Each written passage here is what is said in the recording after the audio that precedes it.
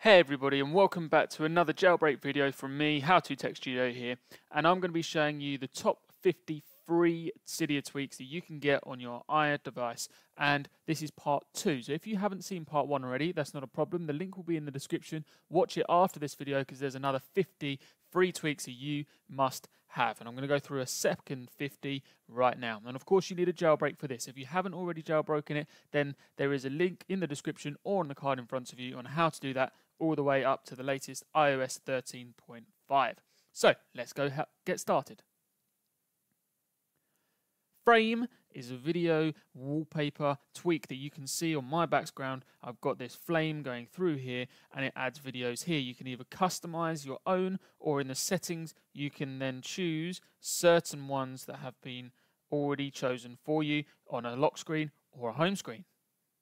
Cuboid allows you to hold down on the right side of your screen and you can choose your custom for your icons that's layouts. So if you want to, you can change where your icons sit, horizontal or vertically. You can also give them less and more padding going horizontally and vertically as well. And you can also change how many columns or rows you want. And you can also save and restore preferences so you can share, share them about to your liking. As you can see at the moment, all of my apps have been rotated. So Rotatey randomizes the rotation of your apps and adds this weird, fun look. Tap Me, you add sounds as soon as you open apps up. It adds, adds sounds to your device. AnyLaunch adds a cool animation to opening up apps. As you can see, mine bounces. I'll show you that again. It bounces there. And of course, within settings, you can change certain differences to your AnyLaunch and you can choose from preset animations such as dock bounce, bouncings, flips, whirls, shrinks, and so on. Bounce It adds a cool bounce animation to your folders to swap in into multitasking, adds this weird bounce that looks really nice, really cool, and looks sleek. No Animations X speeds up your animations, so when you're swiping, there are no there's no animations whatsoever. It speeds it up, makes your device very, very quick. It will also get rid of Bounce It and AnyLaunch that we discussed previously. Central centralizes the last row of your home screen layout to make sure that it is in the middle. Here I've got three and I've got two, and it centralizes them into the middle. If I was to get rid of this one and move it over here, it would centralize and be in the middle. Cool folder adds a nice clean white background uh, white, white outline to your folders, as well as a clear background, making it clean and nice.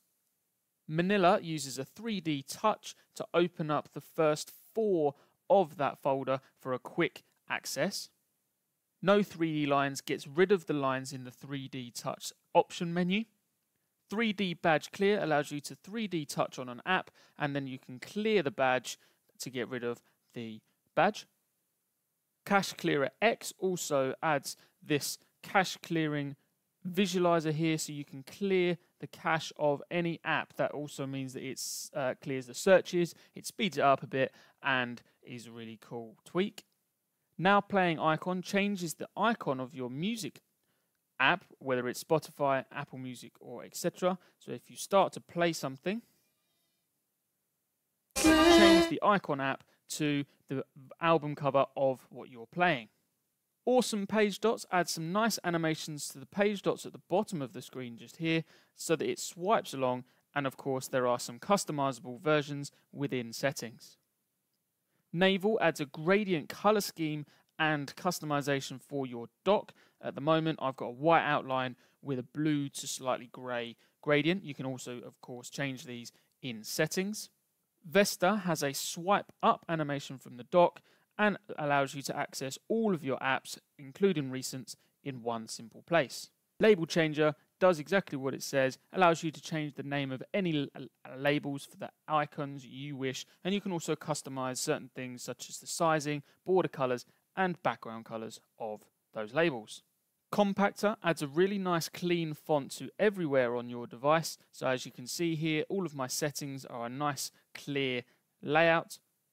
If I was to go onto Twitter, it is all very similar as well, so that you can see this clear and clean layout on your device.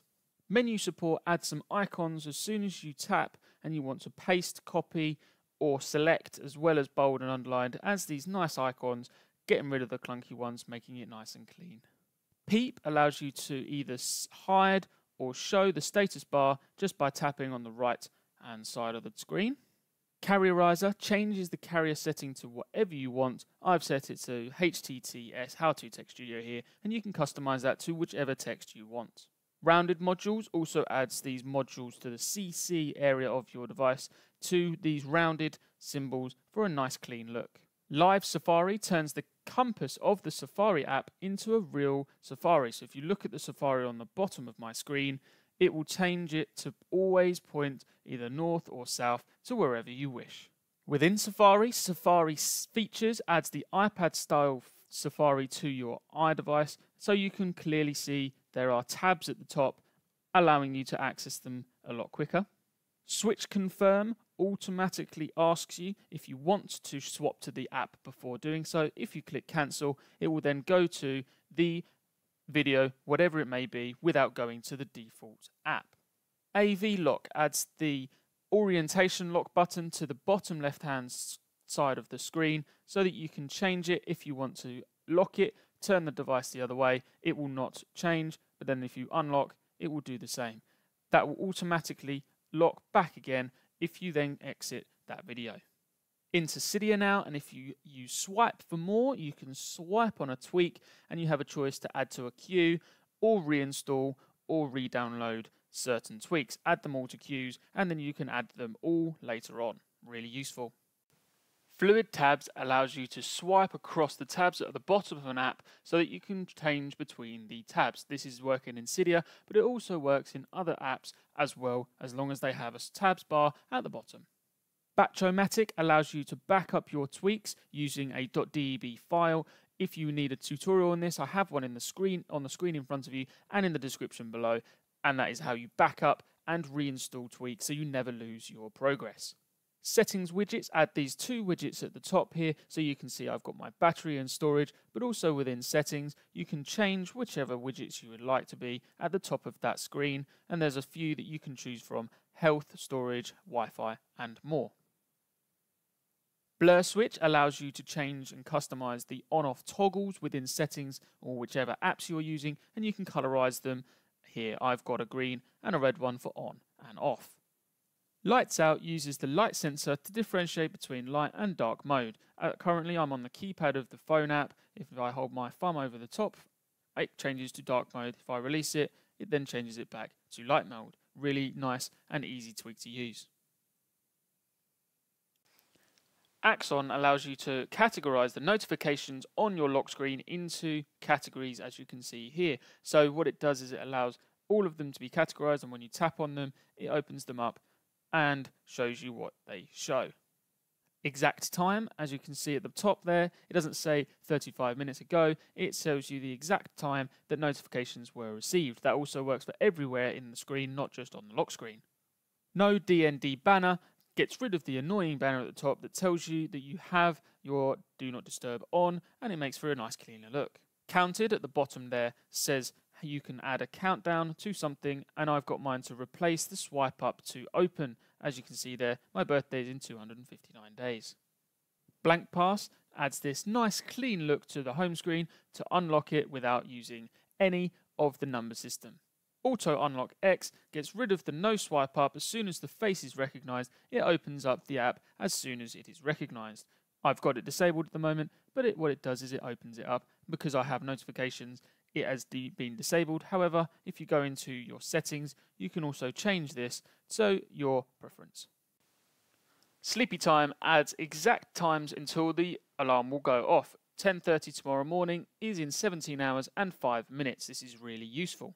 Sakal also uses the sleepy time mode in order to add it to your lock screen so you can have it on your device. Easy Edit Alarms changes the way that you edit them. All you need to do is just tap on them to edit them instead of previously having to go to Edit and then tap on them. So all you need to do is tap an, an alarm to edit.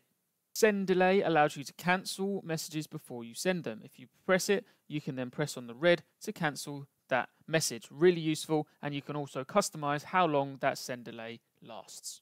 Roman Pad adds the Roman numerals to your phone pad for a really nice clean look. Photo Info adds the exact pixelation size and the megabytes or gigabyte size for photos and videos within the camera roll. Deny Photo Albums allows you to get rid of all of the default photo albums that come with the phone. Hidden Album Lock allows you to lock the hidden album using the face recognition on your device. And if it doesn't happen, then you can click cancel and the hidden album can no longer, no longer be seen. A few extras to notice. Touch Flow allows your finger to be seen when you're recording videos on your screen. Mitsuha Forever adds the music sound wave to the lock screen or the music app or the widgets on your device, which adds for a really nice clean look. Snowboard allows you to select and change themes within your device so that you can chop and change the way that your device looks. Thank you very much for watching everybody. Hit that big subscribe button and like this video. And if you haven't already, please make sure you watch part one of the top 53 Cydia tweaks and I really hope you've enjoyed. I will see you all very, very soon. Don't forget, hit that big subscribe button to show your support. See you later.